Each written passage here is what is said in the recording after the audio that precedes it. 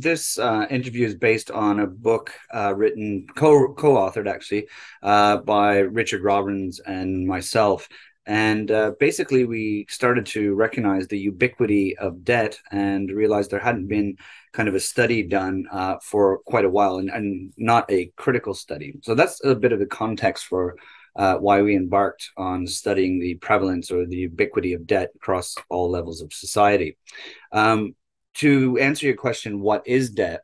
Um, I think we can think of it on a societal level as a social relation of power between a creditor and a debtor. And perhaps more specifically, we can think of debt primarily as something owed to someone, a group, or an institution.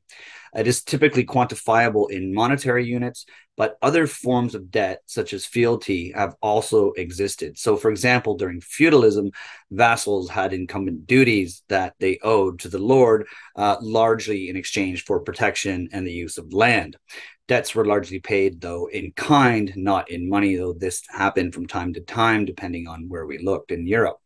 But in Debt as Power, we're of course more interested in debt measured in monetary units, uh, which largely resulted from the increasing monetization of society over time, as well as the emergence of commercial and central banks. Now, we also argued that debt can be conceived as a technology of power, perhaps more insidious and useful in many ways than the application of direct force or direct violence. So, force is certainly one way to exercise power. For instance, what Russia is doing in the Ukraine or what the United States uh, did in Iraq and Afghanistan during the so called war on terror.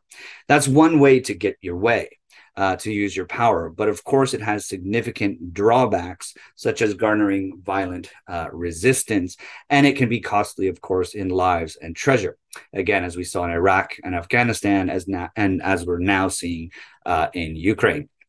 So, debt uh, is another way, in our view, to exercise power. So it's a, it's a technique, in a sense, to get your way, since it causes people, institutions, and states to act in ways that they, um, if they had other options, other opportunities, uh, they might not do so. Uh, so, for instance, it is well known in the socialist literature that people who want houses and take out large mortgages uh, will be more compliant with the so called capitalist order of things.